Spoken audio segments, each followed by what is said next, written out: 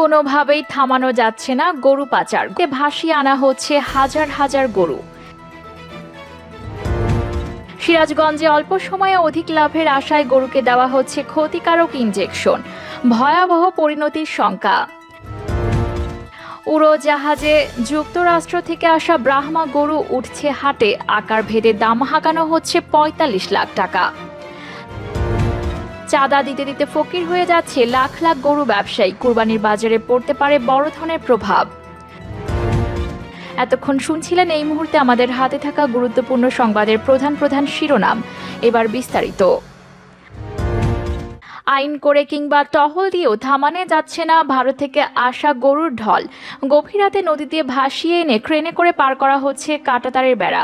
কুরবানির আগে বাংলাদেশে বেড়েছে কম দামি ভারতীয় গরুর চাহিদা। এমন অবস্থায় ভারত থেকে বাংলাদেশে গরু পাচারে আরও আক্রমণাত্মক হয়ে উঠেছে পাচারকারীরা। গরু পাচারকে কেন্দ্র করে পাচারকারী বিএসএফ সংঘর্ষের রীতিমতো রণক্ষেত্র হয়ে ওঠে পশ্চিমবঙ্গের নদিয়া জেলার ভারত বাংলাদেশ সীমান্ত এলাকা। রাতভর চলে বোমাগুলির লড়াই। পাল্টাপাল্টি হামলায় আহত হয়েছেন এক বিএসএফ জওয়ান ও এক ভারতীয় গরু পাচারকারী। বিএসএফ এর পক্ষ থেকে জানানো হয়েছে, নদিয়ার ধানতলা থানার ইচ্ছামতি বর্ডার পোস্ট সীমান্ত এলাকায় এই ঘটনা ঘটে। সাম্প্রতিককালে পাচারকারীদের সঙ্গে বিএসএফ এর এত বড় সংঘর্ষ দেখা যায়নি। ভোররাতে ইসামতি নদী সংলগ্ন এলাকায় কলাবাগানের আড়ালে গরু পাচারের চেষ্টা করেছিল প্রায় নয় থেকে দশ জন পাচারকারী। এ সময় ডিউটিতে থাকা বিএসএফ জওয়ানরা পাচারকারীদের চ্যালেঞ্জ করলে চোরাকার বাড়িরা হাই বিম টর্চ জ্বালিয়ে বিএসএফকে বিভ্রান্ত করার পাশাপাশি জওয়ানদের লক্ষ্য করে মুড়ি মুরগির মতো বোমা ছুটতে শুরু করে। এতে একজন জওয়ান গুরুতর আহত হয়। পাল্টা আত্মরক্ষায় বিএসএফ জওয়ানরা মির্চি গ্রেনেড এবং পিএচি রাউন্ড গুলি করে। যদিও চোরাকার বাইরা এতেও দমে যায়নি। উল্টো আগ্রাসন নিয়ে বিএসএফ এর দিকে এগিয়ে আসতে শুরু করে। বিপদ টের পেয়ে জওয়ান ড্রাইভার আত্মরক্ষায় আঘাতক অস্ত্র দিয়ে গুলি চালায়। ফলস্বরূপ জওয়ানরা পাচারকারীদের হাত থেকে তিনটি গবাদি পশুকে মুক্ত করতে সক্ষম হয় এবং পাচারকারীদের পিছু হটতে বাধ্য করে। বিএসএফ জানিয়েছে, তাদের জওয়ানরা গরু পাচারকারীদের আটকাতে গেলে পাচারকারীরা বিএসএফকে লক্ষ্য করে পাথর ও বোমা ছড়ে। পরে বিএসএফ কাউন্টার ফায়ার করলে বেশ কয়েকজন গরু পাচারকারী আহত হন। তাদের মধ্যে বেশ কয়েকজন বাংলাদেশে পালিয়ে গেলেও ধরা পড়ে যায় এক গরু পাচারকারী। তাকে ধানতলা পুলিশের হাতে তুলে দিয়েছে বিএসএফ। অভিযুক্ত গরু পাচারকারী হাসান মণ্ডল বলেন, পাঁচ থেকে ছয় গরু নিয়ে বাংলাদেশের ছয়জন এবং ভারতের চারজন বাংলাদেশের উদ্দেশ্যে সীমান্ত পেরিয়ে রওনা দিচ্ছিলেন। ঠিক তখনই বিএসএফ বাধা দেওয়ায় তাদের দলের বেশ কয়েকজন সেনাকর্মীদের লক্ষ্য করে বোমা ছুটতে শুরু করে। তারপর সেনাবাহিনীর তরফে গুলি করলে একটি গুলি আমার গায়ে লাগে। অপরদিকে, অতিরিক্ত লাভের আশায় লাখ লাখ মানুষের জীবন ঝুঁকিতে ফেলছে এক শ্রেণির অসাধু ব্যবসায়ীরা। গবাদি পশু সমৃদ্ধ পাবনা সিরাজগঞ্জ অঞ্চলে মোটা তাজাকরণের বিশেষ পদ্ধতিতে প্রক্রিয়াজাত ইউরিয়া, লালি গুড় মাখানো খড় গরু মহিষকে খাইয়েছে।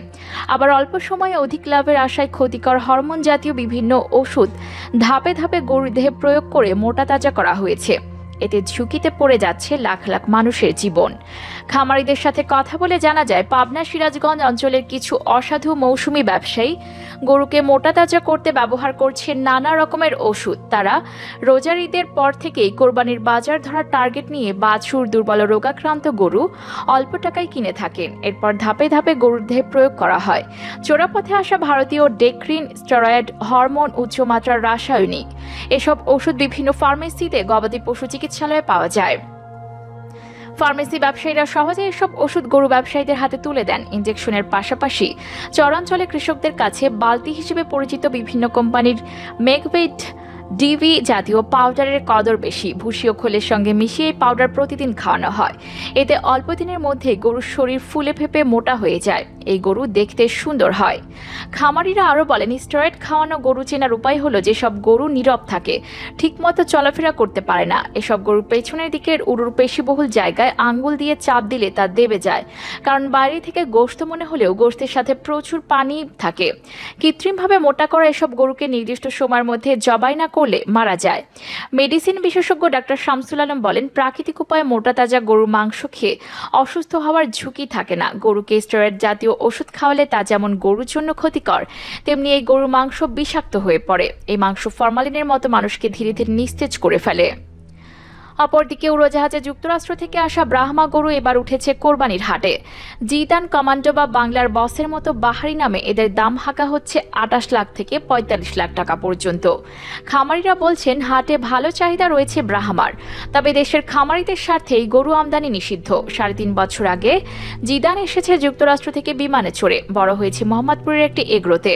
সুঠাম স্বাস্থ্যের সারটির ওজন সাড়ে তেরোশো কেজি।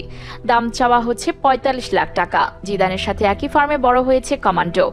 এটিও আনা হয়েছে যুক্তরাষ্ট্র থেকে। বারোশো মন ওজনের গরুটির দাম হাঁকা হচ্ছে ছত্রিশ লাখ টাকা। সাদিক এগ্রোতে যুক্তরাষ্ট্র থেকে আনা কোরবানির উপযোগী ব্রাহ্মা জাতের গরু রয়েছে সাতটি। গরুগুলো দেশীয় পদ্ধতিতে মোটা তাজা করা হয়েছে বলে জানিয়েছে খামার কর্তৃপক্ষ। রাজধানীর আরেক খামার সামারাই এগ্রো। এখানেও মিলেছে যুক্তরাষ্ট্র থেকে আনা ব্রাহ্মা জাতের গরু। সবচেয়ে বড় গরুটির দাম চাওয়া হচ্ছে পঁয়তাল্লিশ লাখ টাকা। যদিও এসব ব্রাহ্মা জাতের গরু আমদানি নিষিদ্ধ করেছে প্রাণী সম্পদ অধিদপ্তর। খামারিরা বলছেন, কোরবানির জন্য প্রস্তুত করা ব্রাহ্মাগুলো তিন বছর আগে আনা। দেশে কোরবানির সময় প্রতি বছরই বিক্রি হয় আমদানি করা বেশ কিছু ব্রাহ্মা, যেগুলো আটাশ থেকে চল্লিশ লাখ টাকায় বিক্রি হয়ে থাকে। শেষ করছি কুরবানি হাটে গরু নিতে পথে পথে চাঁদাবাজিতে। ব্যবসায়ীদের অসহায়ত্বের খবর জানিয়ে সুনির্দিষ্ট তথ্য ছাড়া আইন শৃঙ্খলা বাহিনীও কোনো পশুবাহী যানবাহন থামাতে পারবে না বলে জানিয়েছিলেন স্বরাষ্ট্রমন্ত্রী আসাদুজ্জামান খান কামাল। এর উদ্দেশ্যে যাতে কোনোভাবে চাঁদাবাজির শিকার না হন গরু ব্যবসায়ীরা। কিন্তু ব্যবসায়ীদের অভিযোগ, প্রতিটা মোড়ে মোড়ে তাদের ট্রাক আটকে চাঁদা নেওয়া হচ্ছে। যে কারণে গরুর দাম বাড়ানো ছাড়া তাদের কাছে কোনো অপশন নেই। মোস্তফা মিয়া নাটোর থেকে তিনটি ট্রাকে করে বাইশটি গরু নিয়ে ঢাকার বাড়িধারা হাটে এসেছেন। তিনি বলেন, পথে পথে গরু ট্রাক থামিয়ে টাকা নেওয়া হয়েছে। তিনি অভিযোগ করে বলেন, রাস্তার পাশে যেসব গরুর হাট বসেছে, সেই হাটের লোকজন লাঠি সোটা নিয়ে রাস্তায় দাঁড়িয়ে থাকে। তারা গরুর ট্রাক লাঠি দিয়ে পিটিয়ে থামিয়ে ফেলে। ট্রাকের সামনের কাজ ভেঙে দেয়। শাহেদ এগ্রোর মালিক আবু নাইম আহমেদ বলেন, স্বরাষ্ট্রমন্ত্রী বললে কি হবে? তাতে কোনো কাজ হচ্ছে না। পথে পথে অসহ্য যন্ত্রণা। মেহেরপুর থেকে আসতে মহাসড়কের পাশে পশুর হাটের লোকজন গরুর ট্রাক থামানোর জন্য ওত পেতে থাকে। নানাভাবে তাদের ম্যানেজ করতে হয়, মারধরও করে। বাংলাদেশ সড়ক পরিবহন শ্রমিক লীগের সভাপতি হানিফ খোকন বলেন, ধরুন বগুড়া থেকে ঢাকায় গাবতলি গরুর হাটে কোরবানির পশু নিয়ে একটি ট্রাককে কমপক্ষে ত্রিশ জায়গায় থামানো হয়। এর বেশিরভাগেরই উদ্দেশ্য চাঁদা আদায়। এই দূরত্ব কমপক্ষে পনেরো হাজার টাকা চাঁদা দিতে হয়। পুলিশ তো ইজারাদারদের লোক। যত হাট ইজারা হয়েছে, সবগুলোর সঙ্গে পুলিশ আছে। তারা ভাগ পায়। এখন আর আগের মতো গরুর ট্রাক থামিয়ে পুলিশ তেমন চাঁদা নেয় না। তারা ইজারাদারদের সঙ্গে থেকে ভাগ নেয়। সুপ্রিয় দর্শক, রাস্তায় যে চাঁদাবাজি হয়, সেগুলো পুলিশ ও ইজারাদারের আড়ালে থাকা রাজনৈতিক প্রভাবশালীরা ভাগ করে নেয়। পুলিশ ও ইজারাদারদের বিরুদ্ধে ব্যবসায়ীদের এই অভিযোগ কি সত্য বলে মনে হয় আপনাদের?